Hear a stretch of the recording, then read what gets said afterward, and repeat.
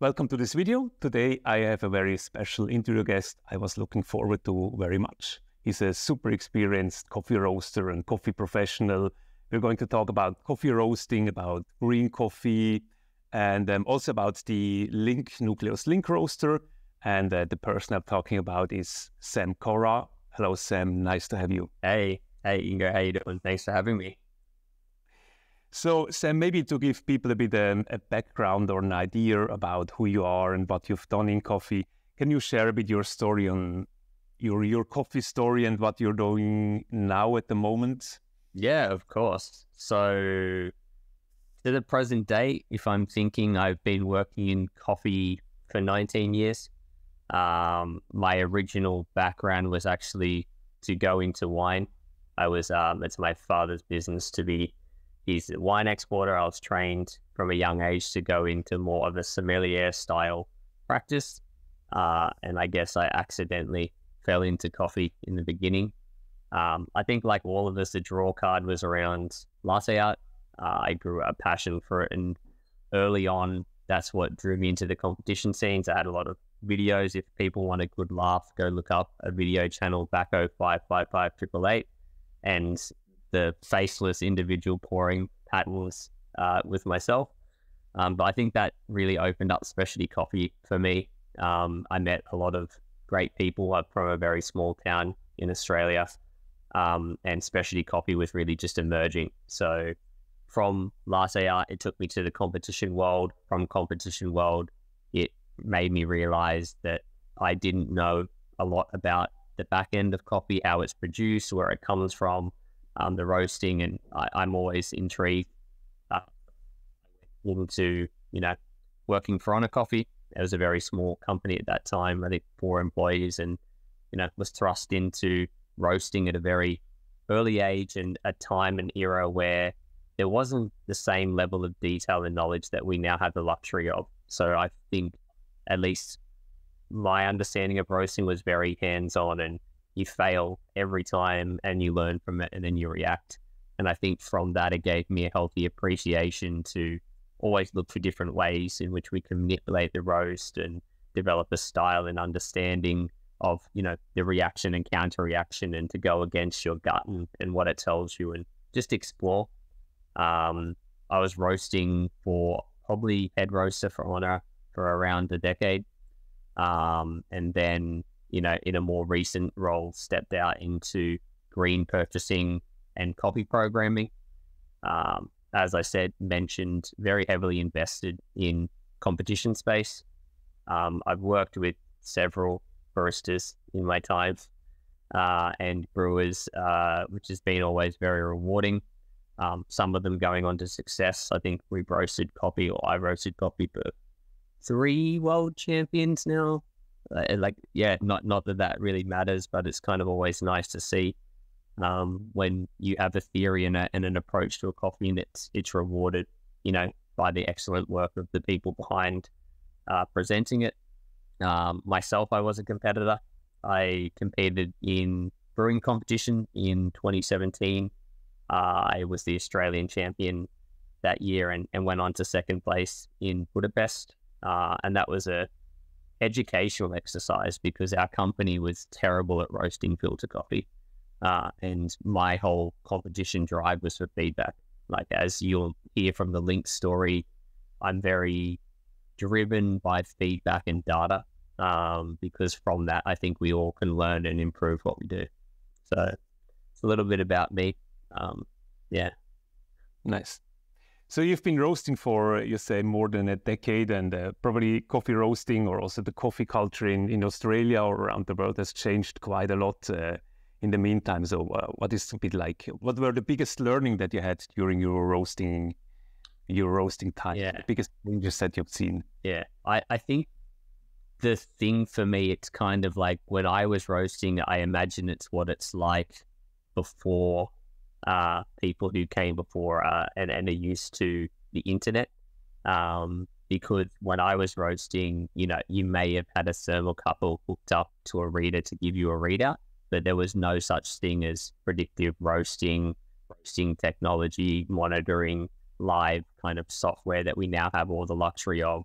you know, ROR and, and all those wonderful terminologies and understandings that we have now of the different phases of roasting were very undeveloped in a raw platform. Um, and I think, yeah, it was very intuitive base roasting.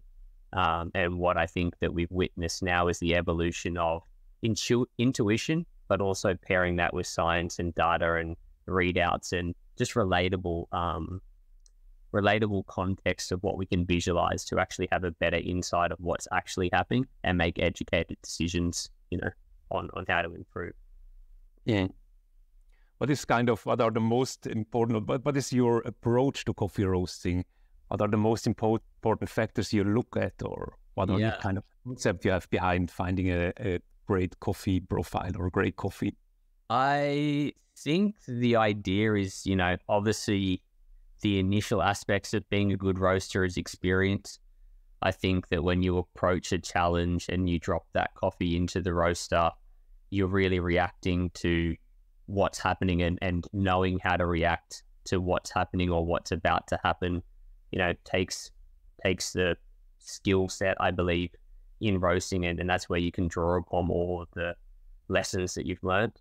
Um, my approach to roasting is essentially about standardization and repeatability. Hmm. Uh, I like the idea that we can find uh, an aspect or an extraction method that we enjoy and prepare a sample that will suit that method, regardless of the process, the country, the variety, etc., just to make it easier for the end user, whether it's yourself or a client or a customer or you know a cafe, to have the best and easiest way to move through the coffee world and all the different coffees that we can enjoy.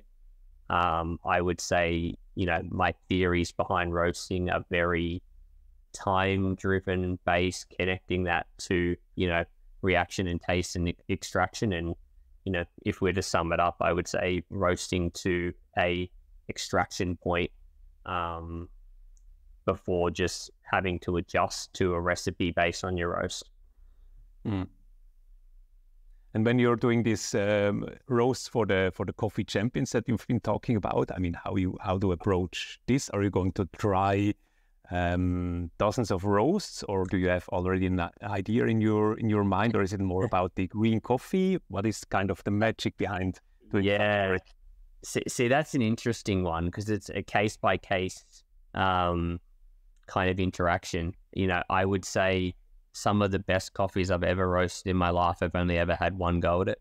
Um, my own competition coffee, I had four kilos. Uh, at that time, the minimum batch size for our roaster was a 15 kilo roaster was, was four kilos before the thermocouple would actually drop out. And I didn't have a smaller roaster to be able to roast on. So that was kind of all prayers and hope on getting that right and just hold your breath until the end and, and, you, and you drop it and cool it. Um, that was an interesting uh, kind of approach because, as I said, at that time I was looking to rethink and adjust how I was roasting. I was very heavily based, at least from my own um, competition copy, on development percentage and that number needing to be above 20% uh, in order to make that profile work, but actually shortening the time frame um, to make sure it was still vibrant and clean. Uh, and where I actually changed my theory quite a lot for filter roasting was development before first crack. You know, the phases that we have, the Maillard phases, the drying phases, the sugar browning phases, and focusing on them as being quite important aspects to the development of the coffee's qualities and not just that development percentage number after. Uh, I developed a theory from that, which really stems that in my own personal belief and let this be known to anyone watching this that there is no right or wrong way to roast coffee. There's several different interpretations, and everyone has the ability to get great, you know, results out of whatever their theory is. But the way in which my brain works and how I understand coffee is, I really do believe that what we do before first crack establishes the qualities and the structure of the organic flavors and compounds and you know acids and proteins that we're changing in the roasting process you know, if it has inherent citrus or stone fruit or, you know, those kind of elements, the expression of those we really start to develop in that stage. and then development after crack or that development percentage number we talk about is about rounding out those intensities. You know, a longer or shorter will have uh, a more muted or a you know more intense expression of those organic compounds that we developed. You know, prior to first crack. Um, so I really changed my theory in 2017, where I was giving up going for full development percentage and actually stretching out a longer roast, delaying the first crack on that particular coffee, um, but shortening the development percent to 10%. And at that time, that was really foreign for me. I was like, this coffee's going to be way under grassy. I just didn't expect it to to work. I was very much trusting um, someone who I was working with, and my coach and mentor was Tetsu, who was the previous world champion. Um, we established a, a, dialogue, and you know, I'm all about collaboration and working with great minds, and he really allowed me to shape, I guess, my filter direction moving forward. That that we can think about things a little differently. Um, so that was that approach. Uh, it was only one time I, roasted it. I basically had to get on the plane and serve it because uh, that's all I had. Um, others very similar. For example, Agnieszka, when I prepared her copies, I had, I think, yeah, it was two roasts, and basically for the competition, all of it was being used. I think I got two roasts of eight kilos. Uh, and again, it was one of those things just, you know, hold your breath, use your experience, trust your gut, and react to what happens. Um, you know, be focused and, and aware.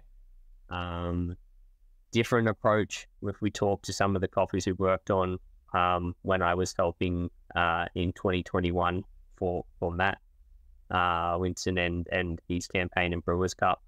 Um, obviously, that brings us to you know some of the earlier developments on on on the link and the customized nano that we'd made for that one. That was more of a thing where we were back and forwarding, and then we had I think maybe two kilos of each lot, maybe less. I, it was not a lot of coffee, and then you know four days out, we're just like let's just let's just roast it all. We're happy with this profile, and then you know work on our techniques to get it to get it out there.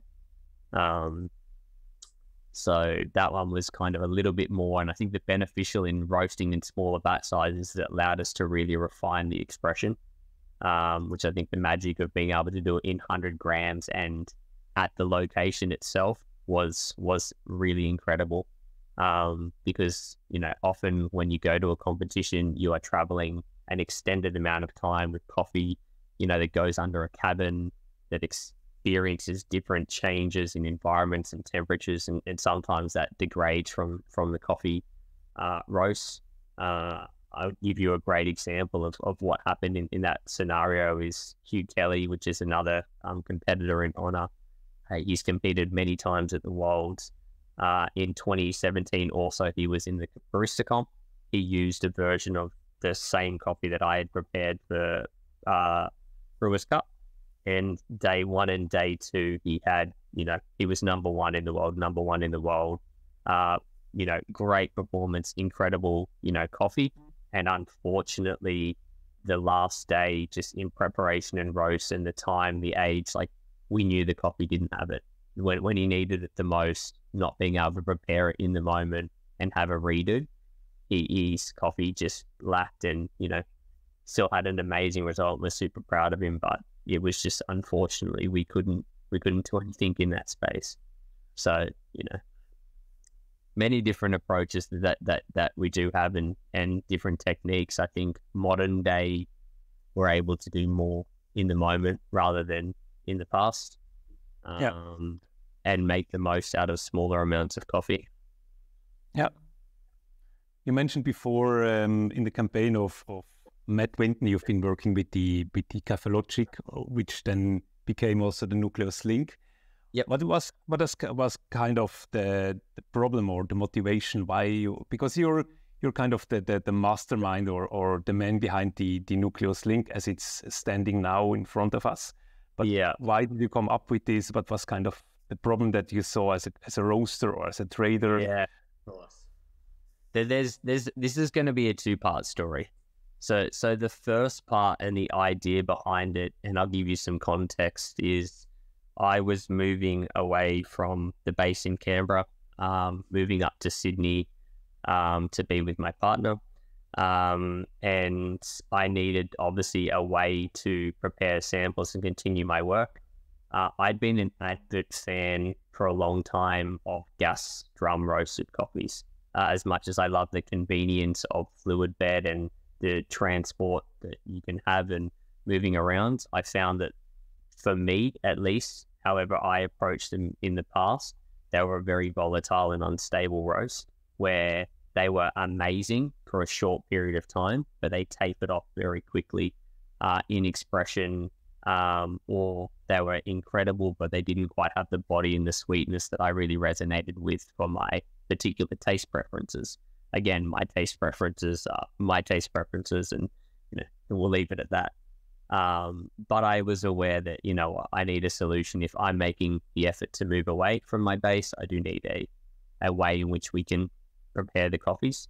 Uh, at that time, I had also one of the baristas I'd worked with in Amsterdam was also John Gordon, um, working on his copies uh, with him, and he was in collaboration with a pop up or a startup Kickstarter, as you'd call it, with um, team members in in Kaffelogic, and he's like, "Hey, I know you're in the market. You really should give these guys a go." Um, and for me, it was one of those things that I think they'd been on the market for two or three years. That hadn't been, you know, they were emerging and there was some hobbyists using it, but I don't think they'd really been given the fair light that they deserved. And I was like, look, you know, I'll give it a go.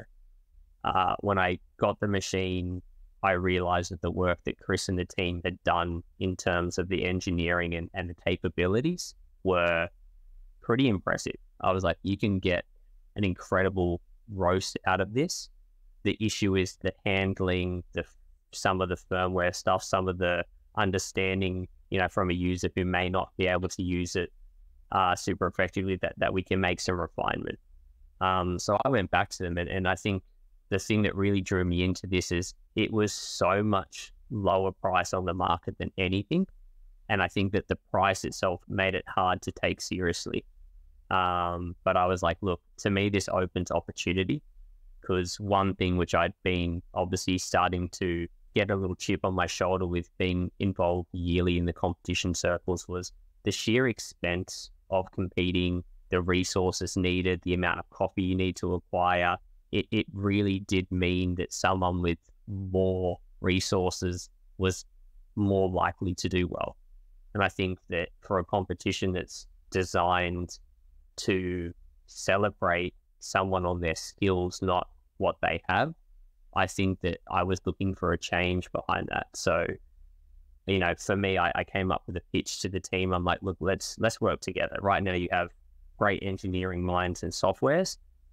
You know, I'm not going to say I've, I've, designed your product, but I have coffee experience. I've worked in these, you know, with several people. I've got you know ability to get good data. Like, can we work together on ideas to improve your current version? Uh, and and our whole goal was not anything more than I wanted to produce great quality. I wanted that unit at its price point to be able to produce great quality. And my testament of how do you test that the quality is being uh, that's coming off that unit is great is well have someone utilize coffee prepared or at least partial of their coffee prepared on the world stage and get the feedback. As as I said, like one thing we shouldn't be scared of is, is feedback. And from that, any feedback you can get is is valuable.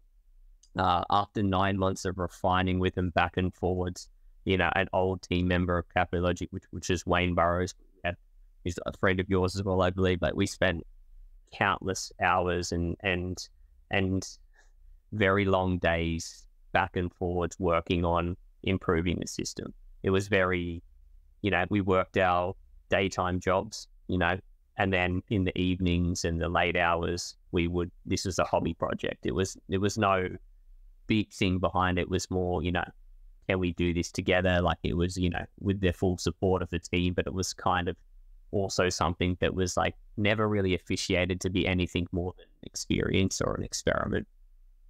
Refine the project back and forwards on the improvements, my feedback. I want this. Can it do this? Can you make the system do this? I need you to be able to unlock this. Can we have this feature? I want I want this. And I, I did a lot of asking. I'm sorry on Chris and the team for the, for the demand. They were like, oh, is it worth it? This guy just asked, asked, asked for more, more, more. Um, and I was like, and there, again, there was no plans to commercialize what I was asking for. They're like, why are we spending all this time on on something? And then I was like, look, you know, let's just see. I just want to push the capabilities, almost like a car company or you know Renault or Ferrari wanting to do something Formula One. Like you manufacture everyday cars, I want to produce something that's tailored for pure excellence and and the best out of the tweaking that, that we can do. Um, we got it to a point, you know, obviously collaborated with independent um, barista who was looking for support. Um, you know, met with the model, had a great story, really connected, and and we we went from there. Obviously, remembering it was COVID times, we couldn't connect in a room. So the first time we came together was four days before the comp.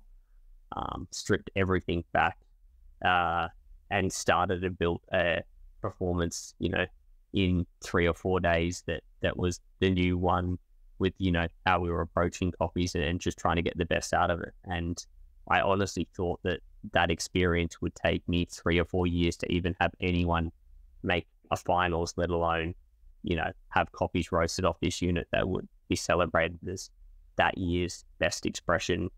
Um, so that was, you know, that initial part of the development was on quality.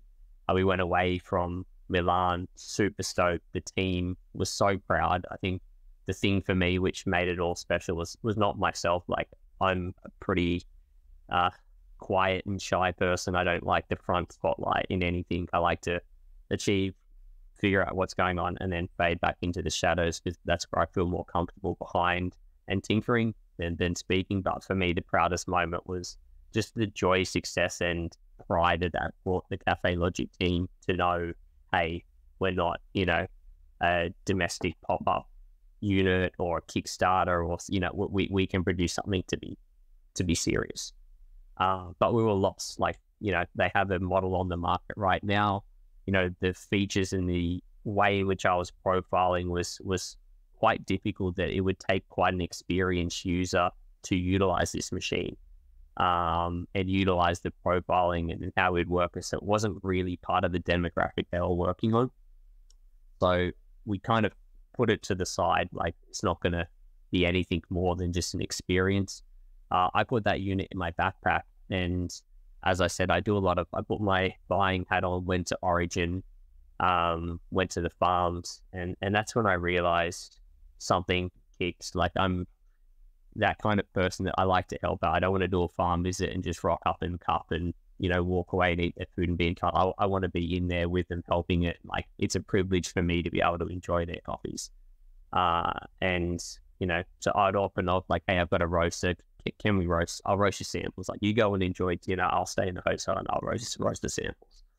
Um, and from that experience, I realized like some producers were amazed that their coffee could taste that way. They've never tasted their own coffees how we in you know a buying country or, a cafe setting or or, or a, a cupping thing would experience their own quality. So to me, that was a really amazing experience.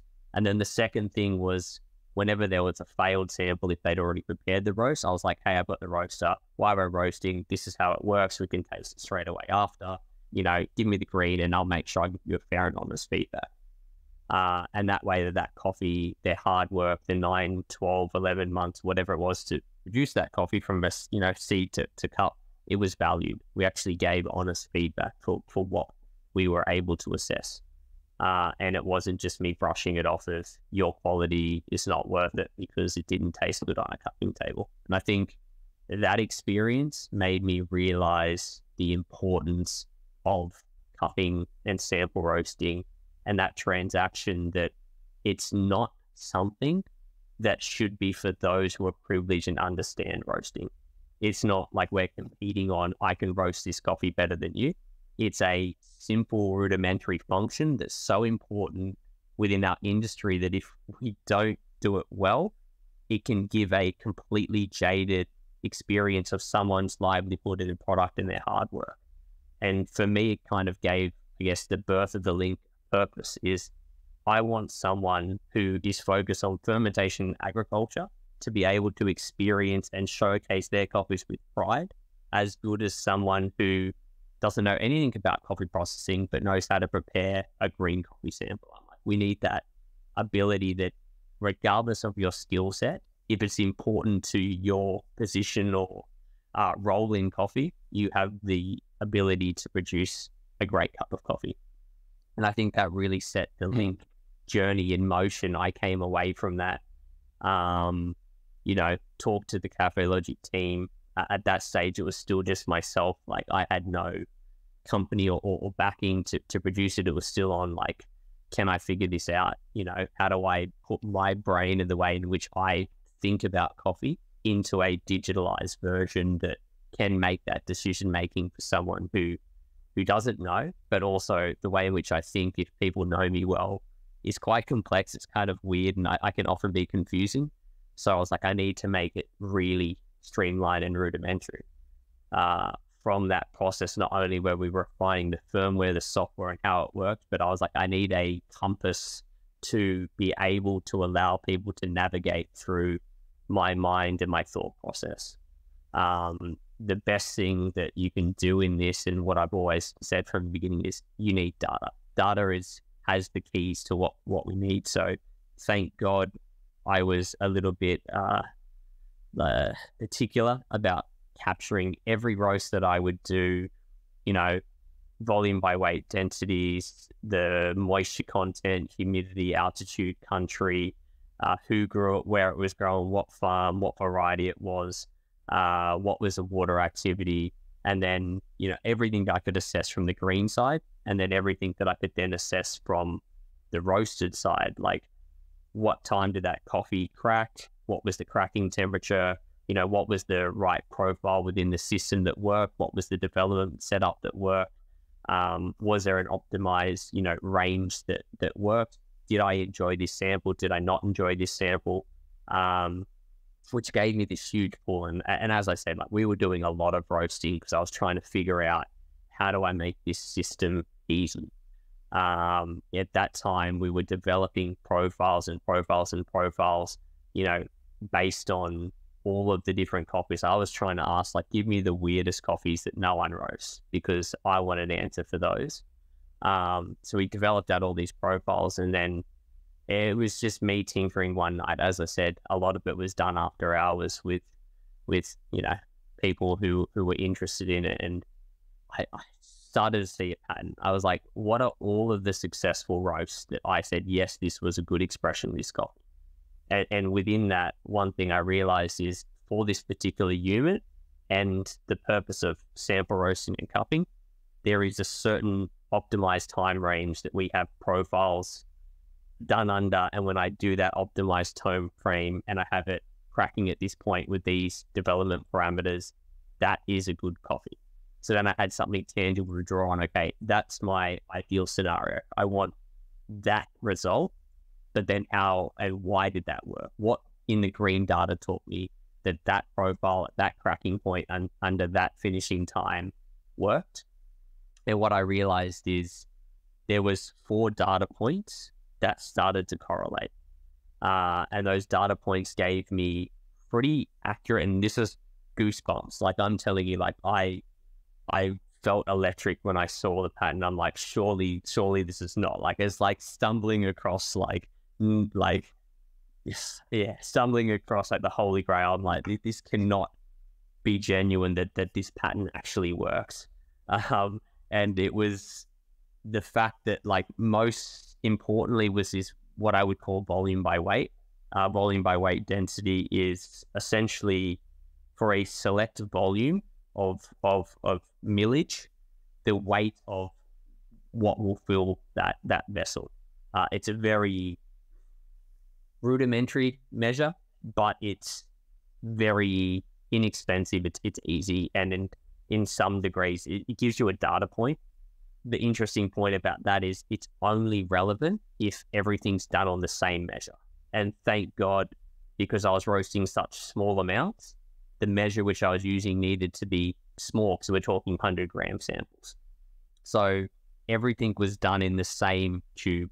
Uh, the original version of that was this little gold tube that that I didn't even know why where I'd got the first version of it. But every sample, the five or six thousand samples that we, you know, I built out the data pool from the beginning, I'd always measured in that tube.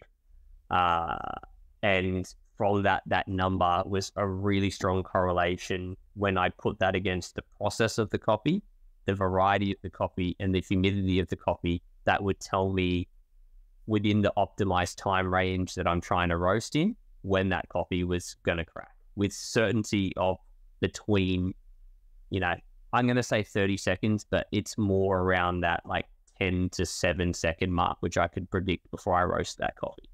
Uh, and to me, that was like, wow, like with that, I can have people get a starting point where you can weigh these points in, put it into a, a you know, a graph or a system. And from that, it's going to tell you this is the best starting profile to give you a first reference. You know, first profile might not be perfect, but it's going to be right within the box that's going to give a fair and honest expression of that coffee. I think for me, it was like fair and honest expression was what I was wanting, that it just represented the organic compounds of that coffee accurately uh, without it, you know, giving a jaded interpretation that roast may play an issue in here. Um, so figured out this is a system that I can use. Obviously, I mentioned that humidity is also very important. The reason I chose to disclose or remove that from the solution is my whole idea was to make it more accessible. If we needed to buy more expensive equipment, it started to then make it not as relatable. And it would also mean that people would need the same equipment. I was looking for equipment that was able to be scaled, but it was also inexpensive um, for its, you know, value. Uh, and then from the first data points uh, already, I could actually turn off variety as a process. People will see within the app, and there's obviously questions within the app. I end up writing like, why is variety there? I'm going to bring it back in an update. But for now, the solutions were so close to being almost perfect first go that adding that priority in in was not necessary. I could actually do it off a two priority system. Um, then the idea was like, how do I write the app? So you know me and, and, and another gentleman, I was like, I've got to write the algorithm. Everything was done as a Excel based solutions. Uh, and I would code it and work on it and rewrite it and figure it out and back and forwards. Like, can the solutions work? This one didn't work. What did I do wrong? This, you know, is changing. This is changing. Cool. Had everything ready to go, happy.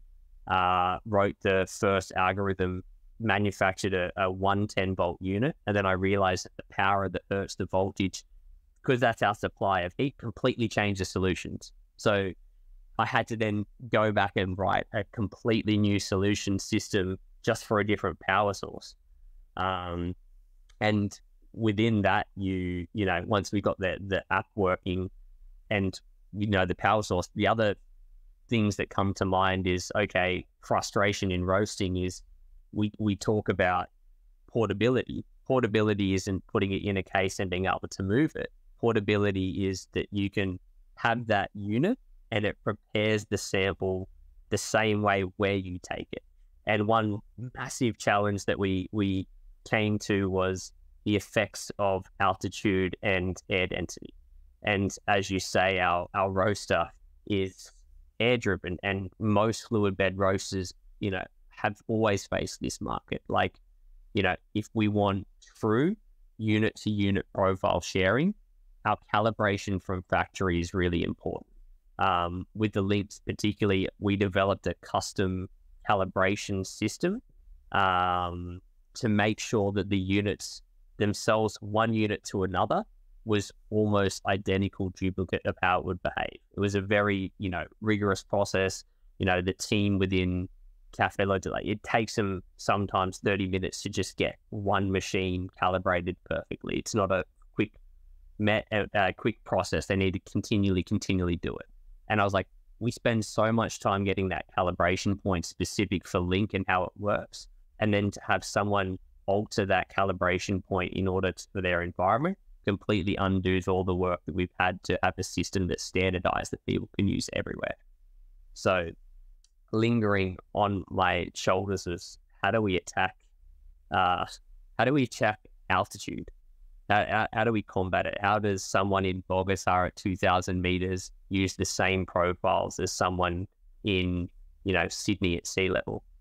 Um, so that was a fun and, and interesting exercise. Um, I can go into that. That was a, that was a seven week, uh, 45 farms, seven, uh, five countries adventure to, to, to write that one. And, you know, I thought I had it cracked. And it's kind of like that thing you think you have the answer, and then another challenge amounts that when you go up, the compounding effect of air density, it increases. It's not standard in the lower altitudes, it actually compounds and gets more. Uh, the smaller amount that you go up, the larger the effect. So then factoring that into algorithm was was pretty pretty fun. Um, but what we ended up you know, developing and, and once we tested it and we took it to all those scenarios to make sure that, hey, if I'm telling you that this is work, like I'll do it myself. You know, I'll go there, I'll spend the time away to actually make sure it, it, it, does work and why I'm on the road, I can rewrite the updates because, you know, and, and relay that back to who I'm working with, you know, from development or, or, or the app to be able to, to update my solutions. Um, and one thing which I think was for me like amazing is we'd written in this fan speed trim that you could temporarily change the calibration to your location and save it. And I developed obviously all the profiles when I'd initially writ, writ, wrote them was in Sydney.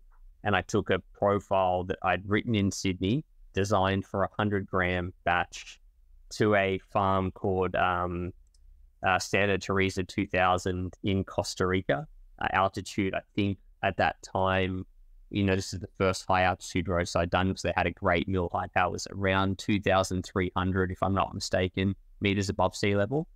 Put the coffee in, altered the batch size, changed the power because obviously we're running on 110 voltage and push play.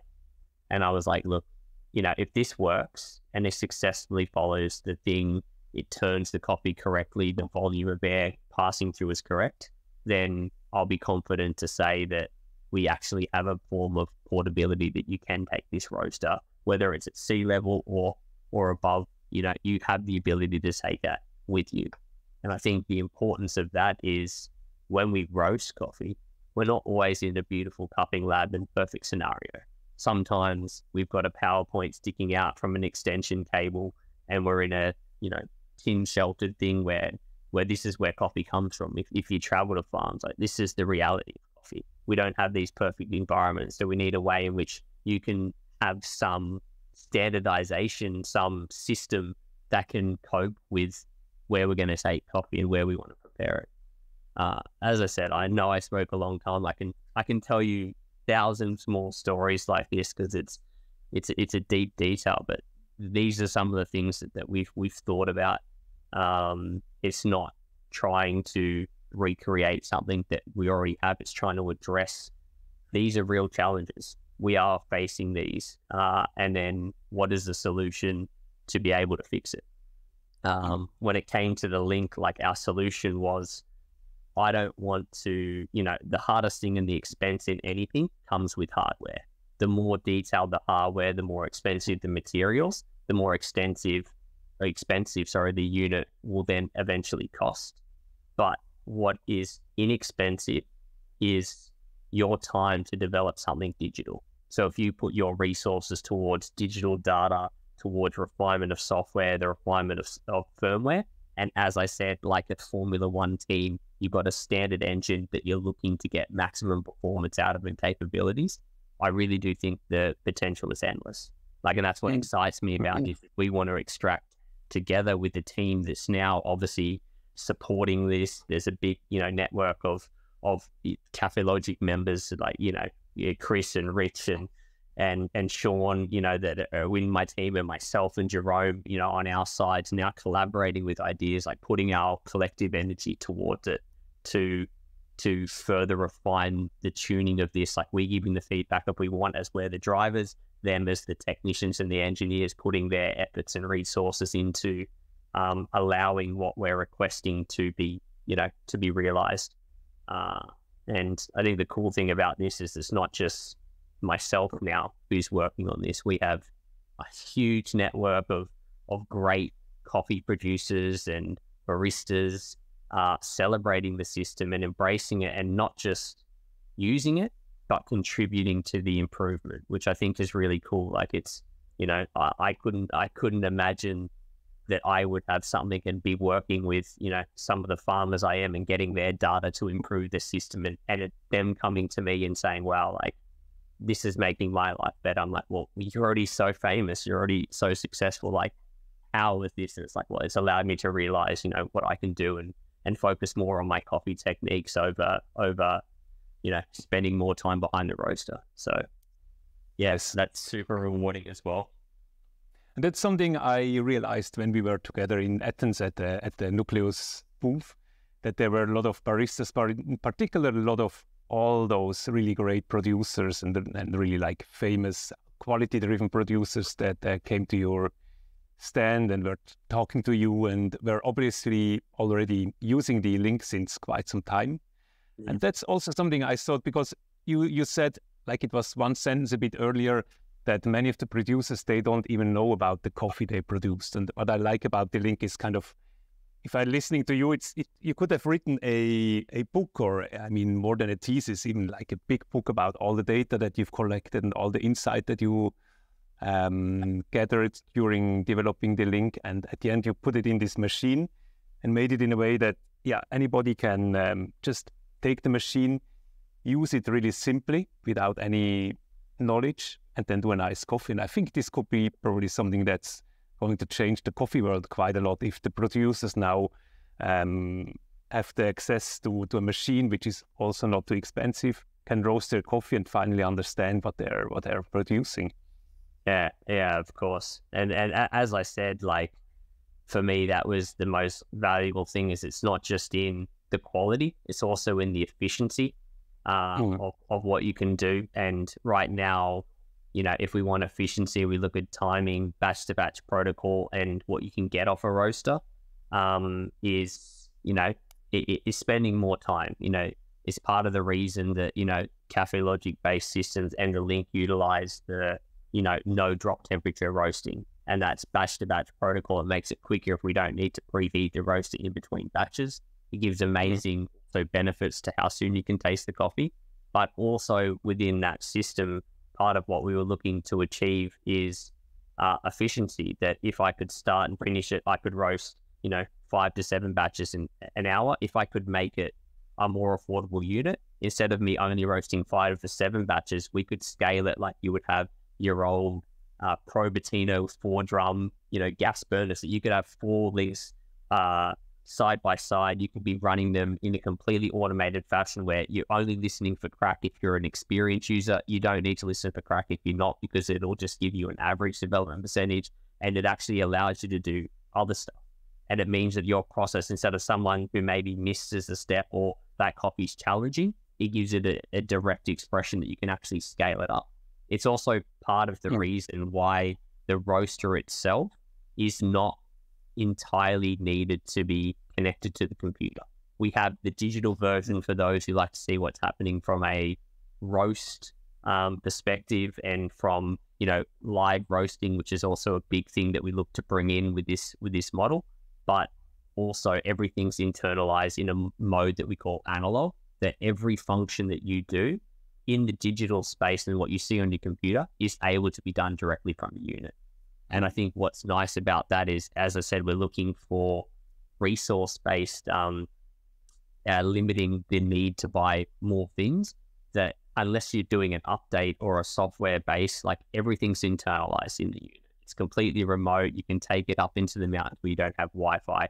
And as long as you've got it, it's all loaded in there, like you can run everything that you would as if you were connected. Uh, and I think that that makes it scalable for many units.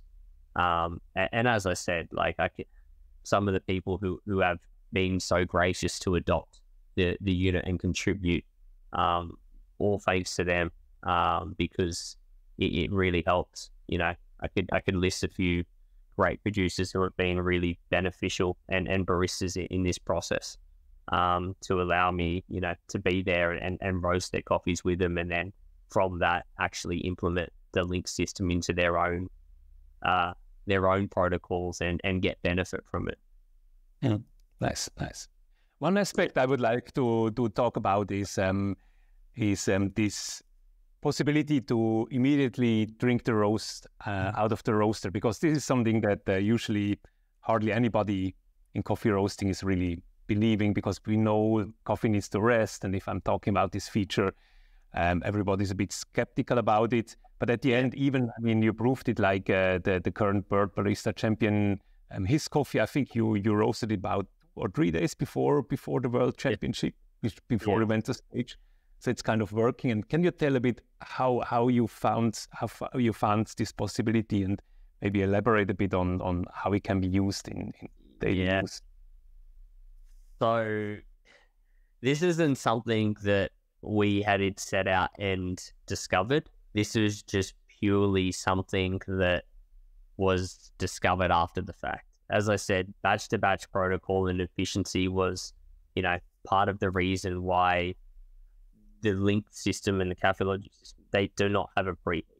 Um, the amount of thermal energy that you need to get into a coffee uh, with at least the batch size to the available power that we have is we have greater available power than what we need to have enough thermal mass convection in order to get it to that endpoint in a set amount of time, which means that we don't need to do the traditional way of preheating.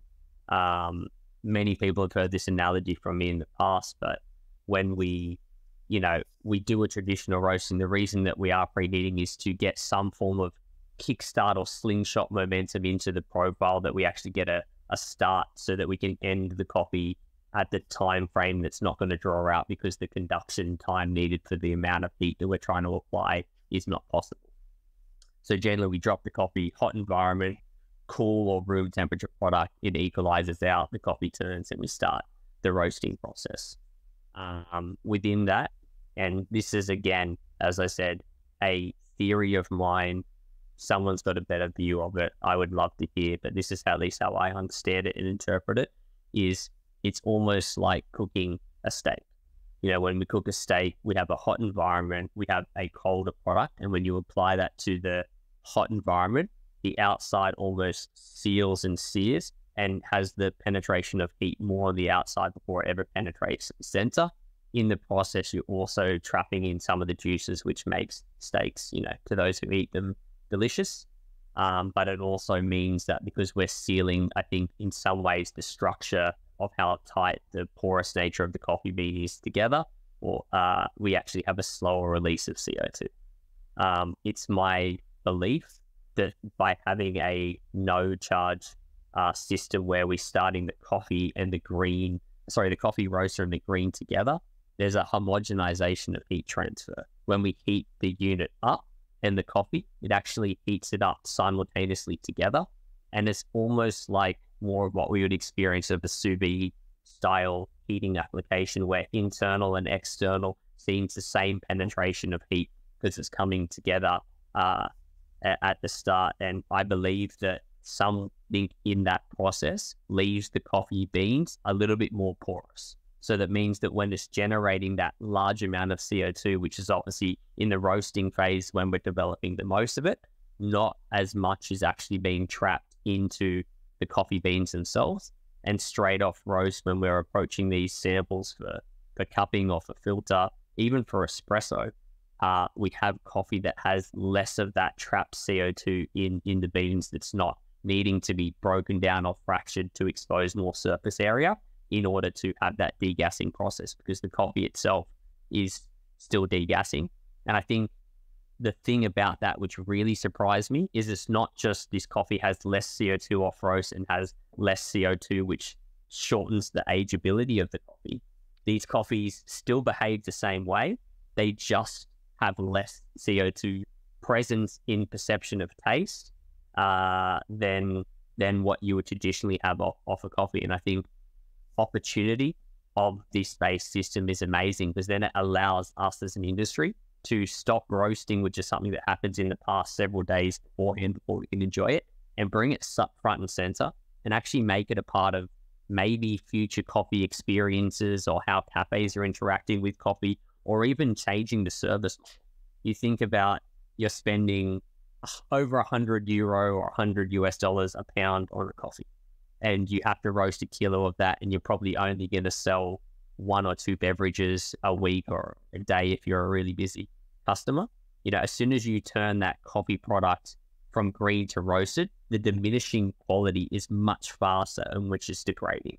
Which means, you know, if your minimum amount you would roast in the past is, is a kilo, or you have to roast it all and then you have to do freezing techniques and invest in, you know, those things um, to preserve it in order to get value. It, it makes it less sustainable to run that coffee. But if you have a system where it's almost roast to order, you prepare it in smallest batch size you need. If you want to do 50 grams, you can do it 51 or 100 grams at the top end and then serve it to that. It allows you to control the process how you can serve and maybe change the coffees, or you can bring roasting as part of your experience. That people, and I don't know if you've ever had it, Ingo, but I've had it. You know, customer knowledge of what coffee is is sometimes limited. You have people thinking that coffee comes brown in a sack, roasted.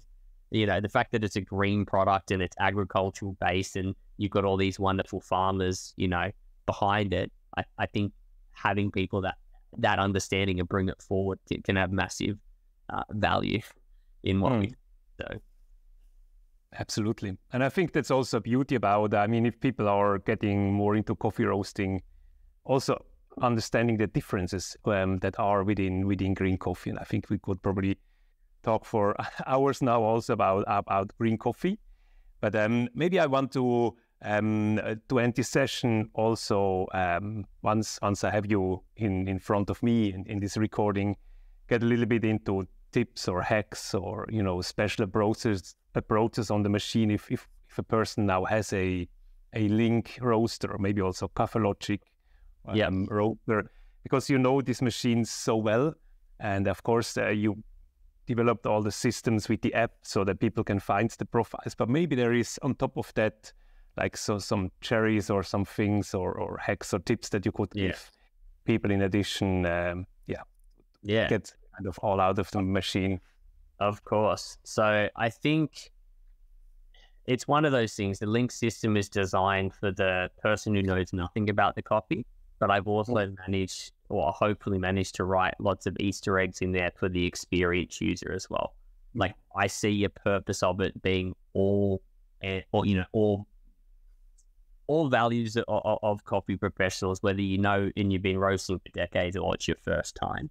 I think one of the features of the link, which is really misunderstood, is the advanced dial-in feature, uh, and and what that is within the app.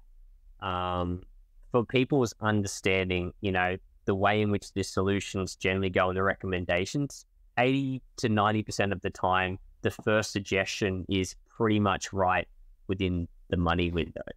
But hmm. let's say you have an anomaly where, for whatever reason, your copies are normally cracking for that profile pack. And if you read the user manual, you'll know, let's say using the D pack, that the desired crack time is between, let's say, five minutes 50 and 605 for whatever reason, if that copy cracks at five minutes 40, you know, you log first crack, DTR kicks in, you have the right development percentage. It's a quicker roast than maybe what's ideal for that particular pitch and structure of that profile pack. And the idea behind the advanced dial-in function is, you know what, I think it would be a overly biased or, or, or confident claim to say one roast and it's perfect. Like I was like, look, you know, but I would say the reason I did that is within two rows, I can get you closer to a perfect roast. And understanding how that system works, essentially, you know, what you would do is you select the profile that you use and you enter the cracking point of what happened for that profile and the, the, the profile pack that you use. And from that, I've written an algorithm that thinks because everything's based on it all gelling up together an optimized roast time, an optimized cracking point, an optimized development percentage, an optimized increase. If for whatever reason you're in the box with the initial suggestion, but you're in the lower part that you're applying too much energy, so it's cracking early, or you're in the later box that you actually could utilize a little bit more thermal energy throughout the starting part of the roast and, and the pitch of it in order to make it crack in a more optimized time range for the how the profile setup. That feature in itself will give you the suggestion based on the last data point it doesn't have. The data points are essentially predicting, you know, initially when it's going to crack in temperature and suggesting a profile. But by having that last data point, um, which is that the cracking point, the advanced dial-in function can maybe suggest up or down a better better profile. Um, generally speaking, you know, for every five seconds discrepancy from the target, it's a 0.5 step in the profile numbers. A lot of people have always asked in the profile numbers what they mean. One is a sequential SKU code for the algorithm to work. Um, but two, the reason they step in 0.5 is I've got enough of a variance of like when you're five seconds out, you go to the next one up or down. I built it to be able to compensate that, you know, you can utilize that feature. So I would definitely encourage people once they get more familiar with it, they're happy with their roast. If they're not just roasting one sample and cupping it and moving on, but they're actually looking to perfect something, utilizing that feature is going to allow them maybe to see a better suggestion than the initial one. The initial mm. one's always going to give them an honest expression, but I would say that sometimes, you know, based on those inputs, the second suggestion from the advanced dial-in is is going to give them, you know, a more closer to the perfect roast, uh, which I think, you know, is definitely underutilized and maybe people don't quite understand because, as I said, there's layers to this onion, and I keep on adding layers yeah. into it. Um, so that would be one definitely hack that I would say utilize that feature more if you're repeating a coffee. Um, some other you know elements which we're working on in terms of the unit is if anyone uh, is experiencing like any connection issues um, where initially the USB tether uh, is not connecting. Uh, the best thing to do is run the unit with no coffee in um, in it. Let it do the heat too fast trigger, you know, unplug the tether, turn it off, hold in the play button, turn it back on, which resets it, and plug back in the tether and continue to hold it. And you'll notice that it will connect straight away. Um, that is something that we've also addressed and fixed in the uh, newer updates of the firmware. But if anyone's running old firmware while we're getting to that point, um, that's just a little little thing within the system. Um, other aspects, like I think I would love to do some uh, videos with you on profiling. I think that the system itself and why I put so much emphasis on the fact that we've done the profiles is there is so much detail to those profiles. Um, but I would love people to maybe understand a little bit more what some of those details are. So, you know, you can take a link profile extract it from log and edit that to custom your, you know, taste and then save that into your user inbox. Like this is not a dictating system that you only use it how we've intended to use it. The V2 update is going to allow you further customization of the profiles from development percentage and etc. But I would like people, you know, who are maybe developing something on, we're trying to give you the framework, a framework of a good quality roast. And from that, make your own expressions, you know, share those profiles, like play around with them. We want you to, to have the ability to uh to do that. And, you know, my, it is my goal to allow the system, you know, people understand more about it so they can, you know, make possibly and I would say most likely even better solutions and roasts than I would be able to create myself. We have an amazing coffee community who's, you know, once they understand something, they can create great, great things. So you know, I would I would like more users to have that functionality as well. Nice, nice. Hey, thanks a lot, Sam. Thanks for, I mean, first of all, for developing that fantastic tool, that fantastic roaster, putting all your uh, knowledge, experience, and uh, passion within them, that tool that now uh, is here for for all of us to use. Thanks for sharing all that you shared in this in this video. I, I'm, I would like to pick up this, you know, like the offer to go a bit more into profiling in another video with you, and maybe um, if people have um, some more questions uh, that we can elaborate on, or some more details they want to know about the machine, write it in the comment. Yeah. But inside of that, um, I just really want to thank you for everything, Sam, and uh, it was fantastic, fantastic to have you here. That's it. I hope this video was helpful for you. If you want to know more about the Nucleus link, then click on the link here. You find a lot of information on our website. Also follow our channel because we're posting a lot about coffee roasting, coffee roasting machines, green coffee. And if you have any more questions, then you can always come back to me. I look forward to hearing from you and you find my contact on roastrebels.com.